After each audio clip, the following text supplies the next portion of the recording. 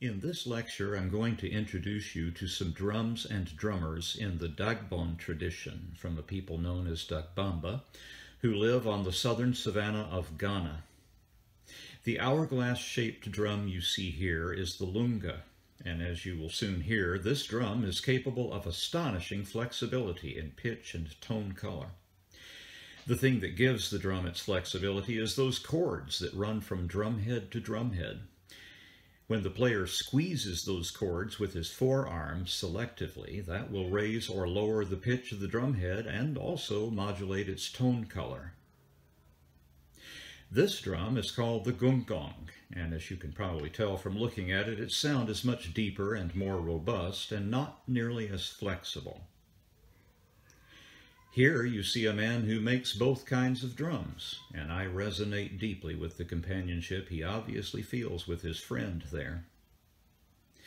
Those who play these two drums, lunga and gungong, are known as lunsi. In addition to being expert drummers, the lunsi fill important roles in Dagbamba society, and I'm going to focus on one of those roles in particular after we've heard and learned about some of their music.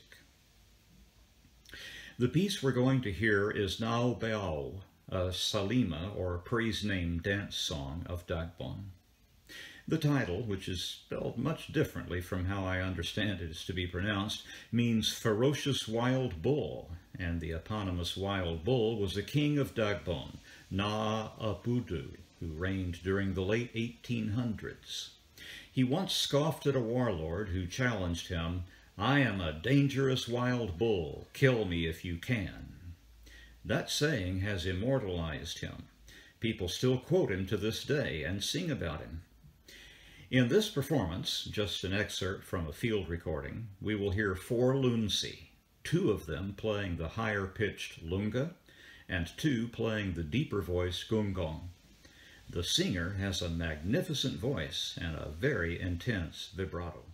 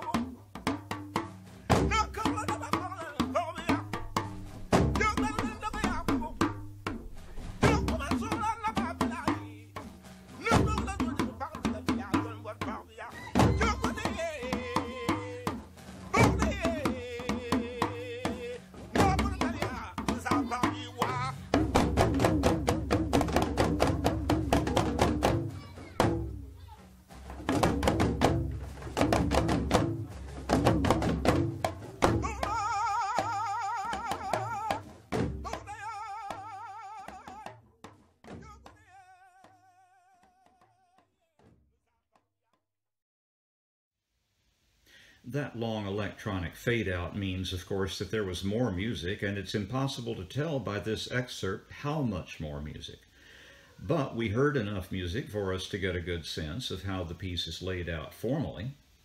There's a drummed introduction in three parts, actually a little more complicated than that, then a sung verse, then a drummed refrain, and that verse-refrain pairing continues until the fade out during verse 3. Presumably that pattern holds indefinitely. What the singer was singing is, as you might have surmised, Na'aburu's challenge.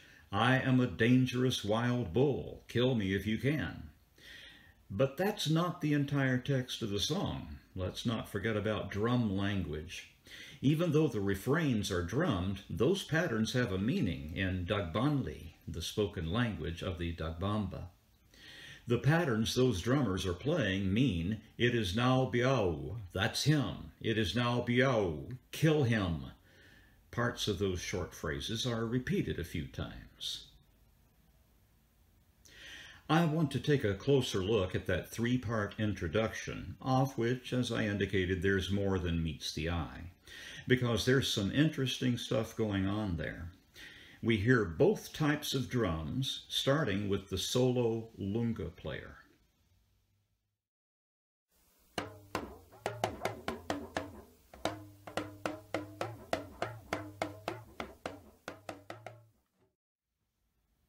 Could you tell that he was squeezing those cords with his forearm as he played? Did you hear the pitch gradually rise as he carefully applied that pressure? Next comes an answer from the gungong drums and the other lunga player. This is actually a little polymetric exercise, the relationship between the parts being that same 3 to 2 relationship that we heard in El Aparecido a few lectures ago.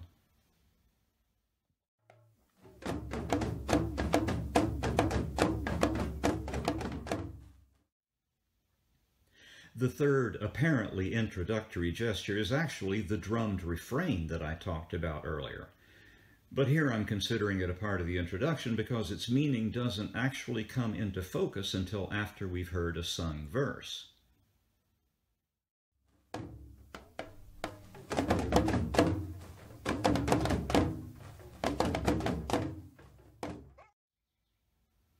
Now let's listen to the entire opening again and I'll guide you through it.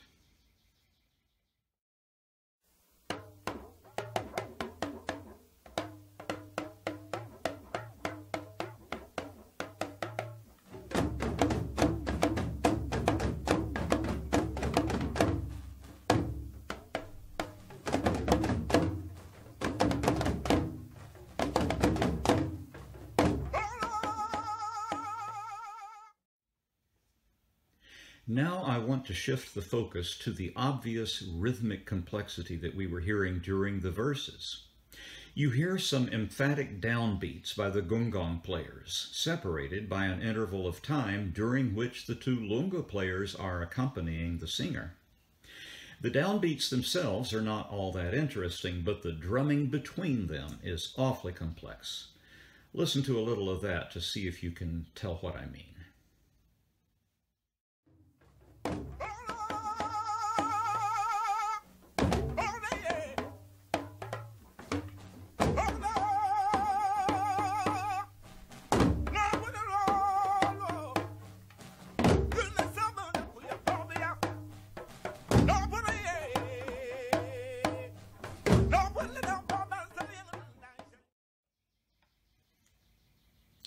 I don't know quite what to say about that. It's possible that there's some freewheeling playing going on at times, but I don't actually think that's the case. I think what you're hearing is two drummers with a very clear rhythmic role to play, with their drummed patterns likely representing more short phrases in the spoken language having to do with a bull or a warlord or something like that. And those patterns would, in all likelihood, fit at least two different meters. But it's hard to get a sense of that because the music is so pointillistic. Do you remember when I used the adjective kaleidoscopic in my last lecture to describe the texture of the Agbekor Vulolo with all six of those percussionists playing a constant wash of closely interlocked drum language patterns? When you look into a kaleidoscope, there is no visual silence anywhere to be found. Every square millimeter of your field of view is occupied by a shard of colored glass, reflected times six or eight by the mirrors in the chamber that holds the glass shards. Similarly, there was no silence anywhere in that music. But in this music, the silences are cavernous, setting apart every stroke. That's why I described it as pointillistic, which of course is not a musical term, but a painterly one. If you will look at some of the paintings done by the pointillists who were active in France, especially during the late 19th through early 20th centuries, you'll see all the paint laid on in short bursts instead of long, fluid, lyrical brushstrokes. In really extreme examples, a close-up view will yield nothing but colored dots on a white background, and you'll have to lengthen your viewing distance to resolve it into an image. Do you see why I described this music as pointillistic? Perhaps you recall that I described Eva Ayllón's Azúcar de Caña the same way. Let's hear the piece once more, just for the sake of enjoying its complexity and intensity.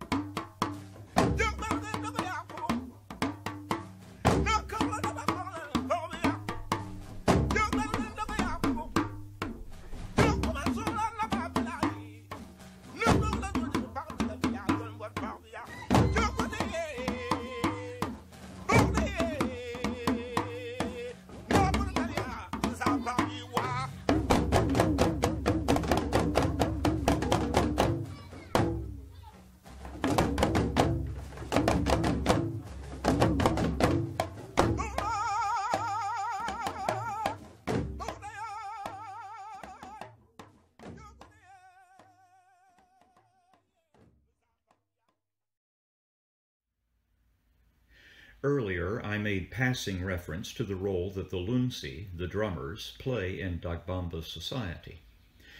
I want to return to this theme briefly because that role includes several vital components, one of which I want to examine closely. The Lunsi are verbal artists, counselors to royalty, cultural experts, entertainers, and genealogists. It is that last item I want to focus on. In particular, I want to entertain the question, how did the Lunsi come to be genealogists? The answer, I think, can be found in the tradition of drum language. Understand that the Dagbamba, like other equatorial African tribes, are only recently literate, and by recently I mean only for the last couple of centuries. After all, up until that time, the Dagbamba were foraging people, hunter-gatherers, and to my knowledge, no hunter-gatherer people have ever invented a written language. What need would they have for it? Written language began not as literature, but as record keeping, and certain kinds of record keeping become important only after there is grain to be harvested and granaries for storing it and governments who keep control of the granaries. In other words, food distribution. When there are cities and a larger population, it's important to keep track of how many bushels of grain there are in the granary and how many we'll need to add in order to get through the next year and how many slaves are working the fields and so forth. Those are not the kinds of records that foraging cultures need worry about. Nevertheless, some records are important to a pre-literate society, but they're not those kinds of records. Moreover, they are the kinds of records that can be passed on orally, provided they're rehearsed and checked constantly, and you really can't do that with bushels of grain in a granary.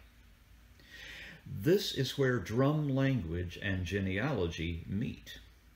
Genealogy is important to any society. When someone dies and leaves an inheritance, it's important to know how to distribute that inheritance fairly. The only way to assure that is for someone or some designated group of people to memorize those genealogies so that a record of exact degree of relatedness is available.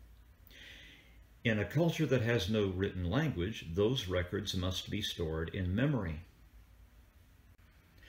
Memory is notoriously unreliable, and many examples could be marshaled from all of our lives to demonstrate that fact. So how does one assure the accuracy of memorized genealogies? Well, here's how. Designate a particular group of people to be responsible for that information. Charge those people with the task of gathering as a group and reciting those genealogies on a regular basis, say every three days. Those are the people who will not only commit the genealogies to memory, but who will check each other's memory during the recitation. Choose the people who have the best mnemonic device ready to hand. Trust that memory work to them. What mnemonic device would serve the purpose? Well, if you live in a culture with a drum language tradition, what could possibly better serve that purpose than a drum? Imagine sitting with a group of your fellow Lunsi, all reciting the tribe's genealogy either serially or simultaneously while tapping out those names on a sensitive drum capable of a close approximation of the syllables that are being formed by your mouth and vocal apparatus. In a sense, you'd be getting that stored into your memory in two ways, both in your mind and in your fingertips. Can you imagine a better way of doing it? Now I want to introduce you to the mbira, the so-called African thumb piano. This is an instrument that takes many forms and can be found across the entirety of sub-Saharan Africa. Some take the form of a lightweight resonant wooden box, which is also a serviceable description of a guitar or violin. Some are made of planks. In the case of those extremes, the sound can be quite different. The thing they all have in common is springy tines. You can call them keys if you like, attached to a sort of axle and arranged in a chevron pattern. You see that in the examples I'm showing you here. Nowadays, those tines are made of spring steel. Traditionally, they were made of bamboo, which is also springy. The chevron arrangement places the instrument's lowest notes at the center of the instrument and also closer to the player's body given the way the instrument is held, with the higher notes outward in both directions. The keys are depressed and released by the thumbs, hence thumb piano. Some of the instruments include additional sound sources, namely those bottle caps that are loosely attached by means of nails or screws. When the body of the instrument picks up the vibration of the keys, that vibration is in turn transferred to those bottle caps, which vibrate in sympathy with the primary sound and produce a sort of buzzing effect. In the recording we're about to hear, that buzzing may remind you of the sound of a jazz drummer playing a snare drum with steel brushes, not sticks. Here's Nhemamusasa, played by Shona musicians from Ghana. There are two mbira players who are later joined by a third player who is playing a pair of rattles known as hosho.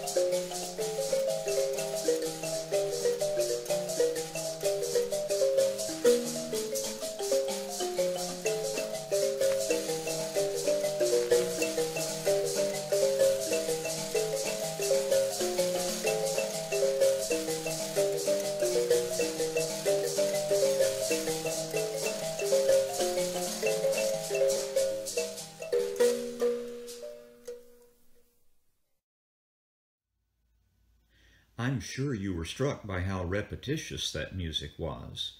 Perhaps you also noticed that it had a cumulative quality, almost like erecting a building from the ground up. The piece began with a single mbira player who was playing a two-part ostinato, whose meter is best felt as fairly broad triple time. Well, there's that word ostinato again, and for good reason. As I mentioned in my last lecture, a lot of sub-Saharan African music is dependent on it. I call this one a two-part ostinato because it's built on two regularly alternating chords, a sort of out harmony followed by an in harmony, or perhaps you perceive it as an up harmony followed by a down harmony. If I were to describe it in terms of harmonic function, I would say it was an active harmony, a harmony characterized by tension, followed by a more relaxed harmony that resolved the tension. In other words, like dominant resolving to tonic. Each of these harmonies requires two measures, so the whole pattern is four measures long, and that four-measure phrase cycles constantly throughout the piece. This is the piece's foundation. After that first mbira player had played six complete cycles, a second mbirist joined him, playing a melody that included a descending scale and some accents that clearly did not line up with those implied by the first player's part. In other words, at that point, the music had become polymetric. This arrangement then continued more or less consistently until about a minute later when a third player joined the group. That third player was playing a pair of rattles known as hosho, made from a distinctive gourd that had grown wild in the region since forever.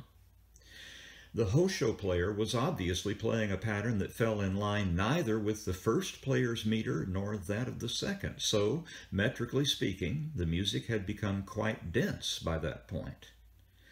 And after continuing for a while, the music ended abruptly, didn't formally close like most of the music we've heard in this class, but just stopped. I wonder why. Well, here's why.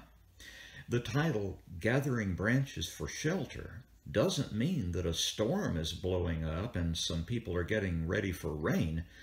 These branches are being gathered for shelter against an enemy, in other words, for camouflage. This music serves the same function as the music in the Senusunian scene in Djembe-Fola. It was to encourage the people who were doing the work. Once sufficient branches had been gathered, then the music simply stopped. Its function had been realized. In the spirit of trying to tie things together by pointing out extensible principles, I want to remind you that you've heard something like that earlier during these lectures, but not in a lecture having to do with African music. It was from my abbreviated unit on music from Latin America, a San Juan dance tune played on the Imbabura harp, with the second player pounding on the harp's soundboard and singing a song about a dear old lady who had left the village.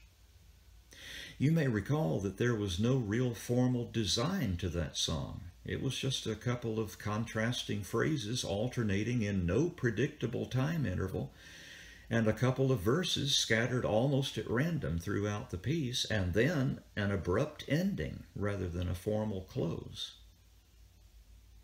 What I described there is pretty close to what you heard in Nhemamusasa. That little dance tune from Ecuador was not meant to be listened to. It was to be danced to. So once the other revelers in the tavern were showing signs of fatigue or disinterest, then the little two-man band would just stop whatever tune they happened to be playing and start a different one, hoping to lure the customers back out onto the dance floor. It's often easy to determine whether a piece of music is meant for listening or as a background for some other activity by paying attention to the way it ends. Let's hear Nhemamusasa one more time, and this time, as we go through, I'll point out some things that are happening.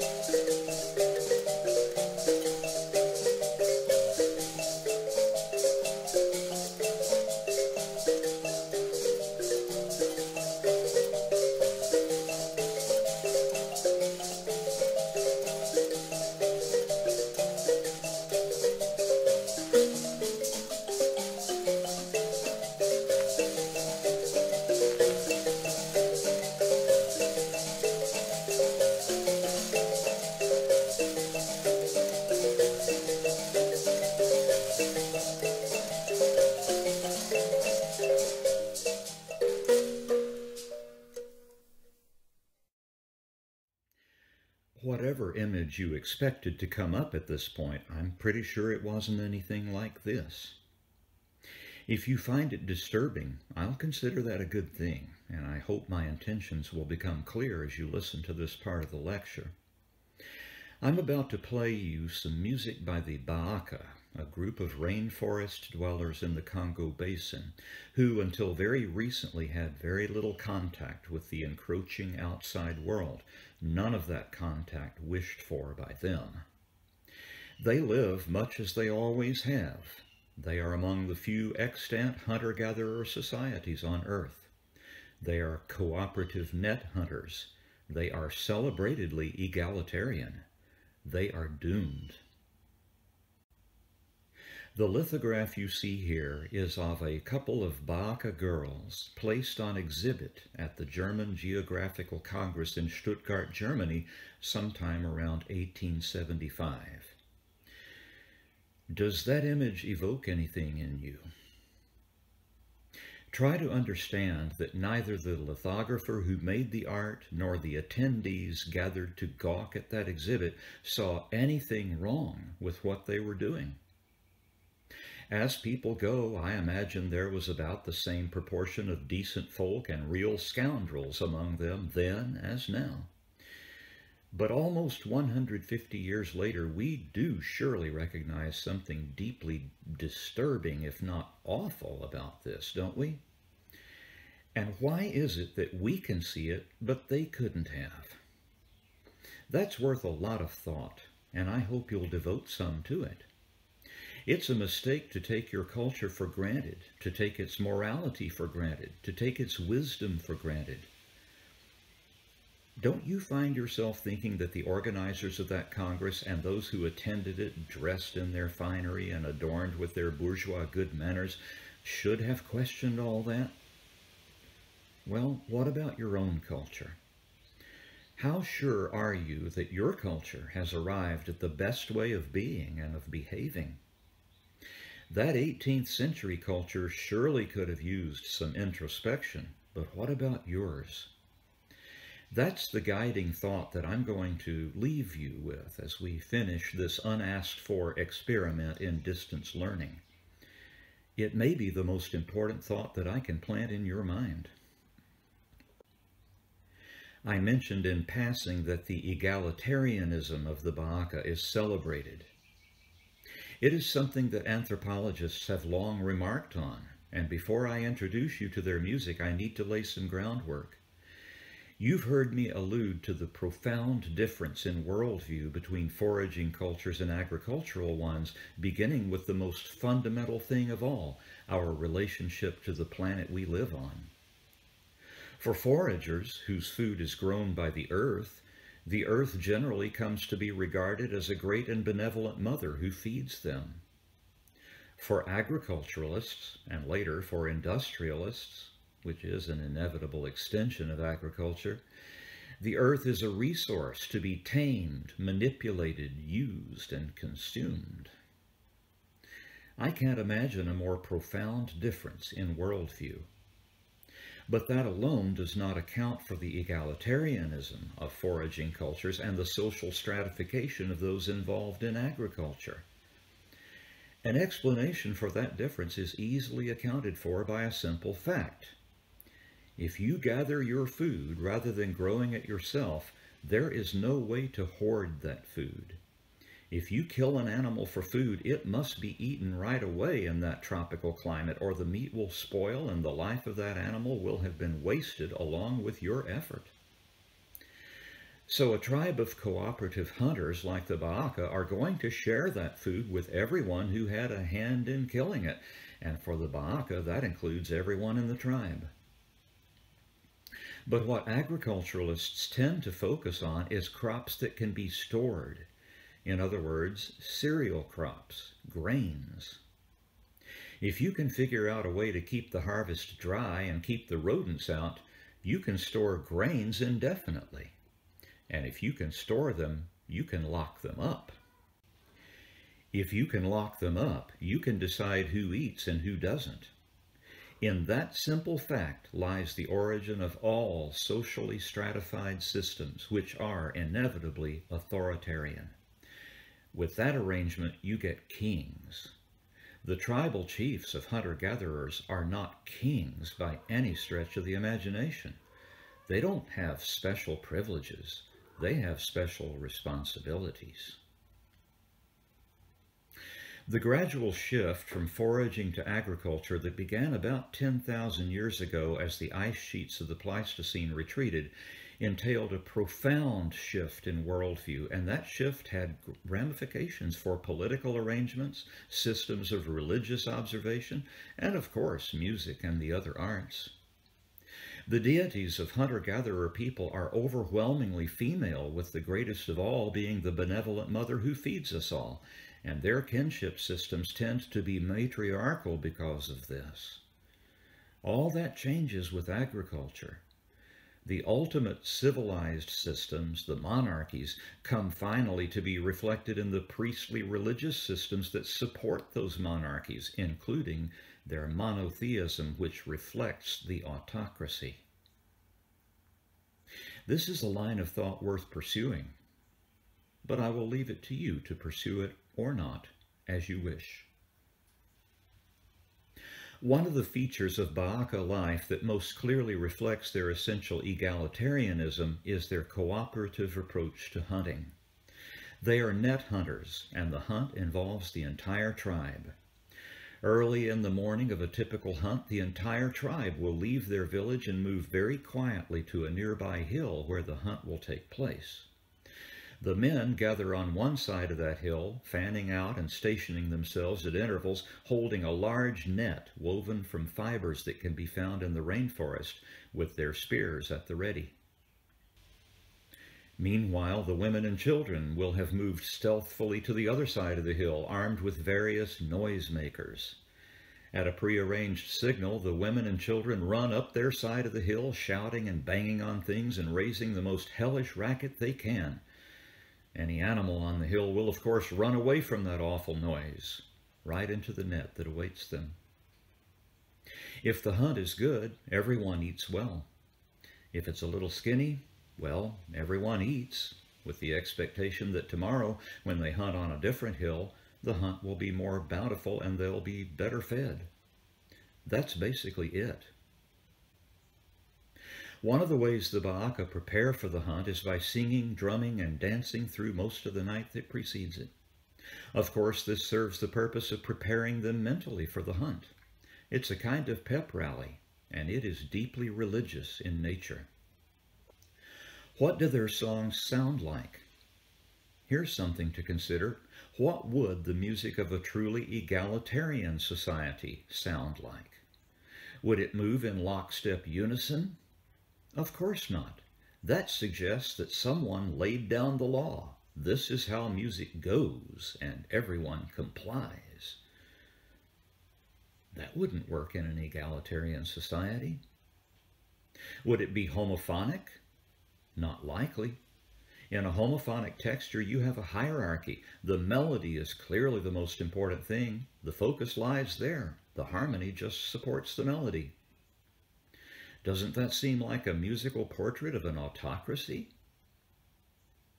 No, the music of the Ba'Aka is polyphonic, and each voice is as important as every other voice, with no hierarchy whatsoever implied.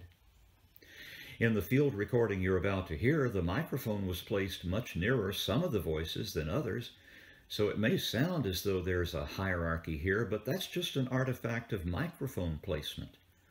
In reality, no one would be able to say which voice is more important because no one voice is more important than any other. This is a case of art reflecting life, a potent reminder, in fact, that the art of any culture is far more revealing of that culture's worldview than any other cultural feature you might study.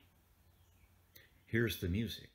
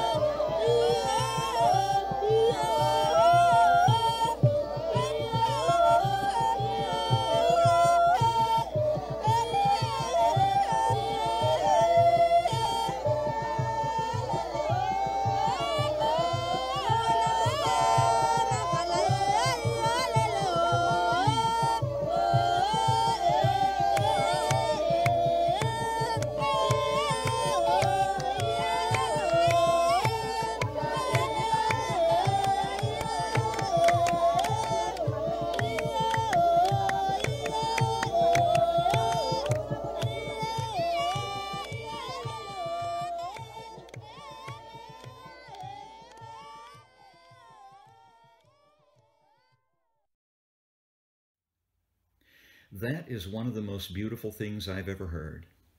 I wish I had an hour's worth of that recording instead of the few seconds I do have. I think I would never stop listening to it. How I wish that during the past four weeks we had been face to face in a classroom rather than relegated to an online format that affords none of the advantages of a classroom setting. Africa is something I'd most have loved talking about. No matter where your immediate forebears hail from, Africa is ultimately our home twice over. Twice over because not only did our species evolve there about a quarter million years ago, finding their way to other continents only gradually, our species survived a near wipeout by the eruption of Mount Toba in Indonesia about 65,000 years ago, only because some of the people who had never left Africa in the first place managed to survive the global famine that that eruption set in motion. Understand that I'm not talking here about those biblical famines that involve agriculture. That was far in the future. I'm talking about a collapsing food web. That happened, and it was Africans who survived it. It seems to me that we should have warm feelings for Africa, as for a mother. But that is not how Africa has been viewed by outsiders, is it? It's been exploited almost to death by economic and military powers far away. Its people have been kidnapped and shipped across the ocean and sold as slaves. And what is happening this very day in many, many regions of Africa is tragedy with a really human face. Why, you may ask, do I bring up these doleful thoughts? Above all, why would I choose to close this strange semester with such thoughts? As poet William Butler Yeats observed, education is not a pail to be filled, but a fire to be lit. I know that some of you would have preferred that I merely fill the pail feeding you with tidbits of information that could be easily puked back up on a quiz for points toward a grade. But that's not education, and I know it, and I think maybe you know it. What I've been trying to do here is light a fire. I can see that for some of you it's worked, and I'm grateful for that. It may take a few more years for others among you to get it, I do think that the drastic change of life that this epidemic has forced on all of us might be the occasion for some ways of thinking that are different from what you've known in the past. And I dare to hope that a better future, both for you and for the whole suffering family of humanity, might thereby be forged. Good luck to all of you, and Godspeed.